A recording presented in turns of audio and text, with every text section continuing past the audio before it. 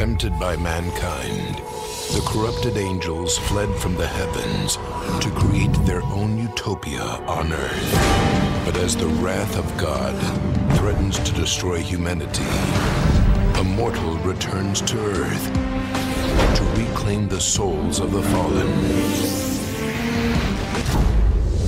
Now, an epic journey will begin that will take one man into the depths of hell and beyond.